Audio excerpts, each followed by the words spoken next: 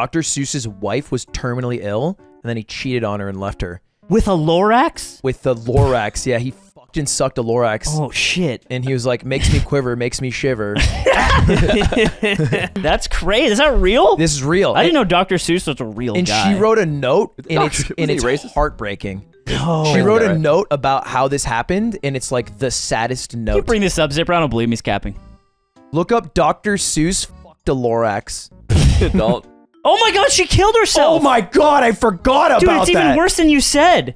I am too old and enmeshed in everything you do and are that I cannot conceive of a life without you. Read her suicide note. Wow. My going will leave quite a rumor, but you can say I was overworked and overwrought. Your reputation with your friends and fans will not be harmed. That is the most heartbreaking thing I have ever read. And he wa- and he was like red red Damn, flag red fish, blue fish.